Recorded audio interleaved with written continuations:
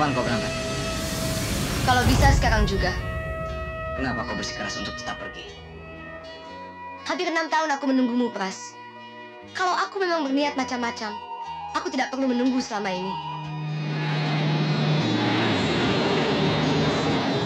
Pras, kamu tidak takut punya calon istri yang berwatak keras dan tinggi hati?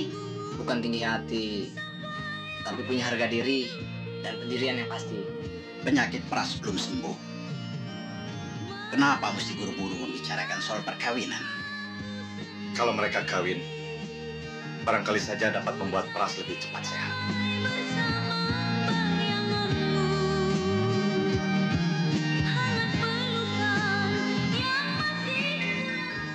Tentu kau akan kawin lagi kalau aku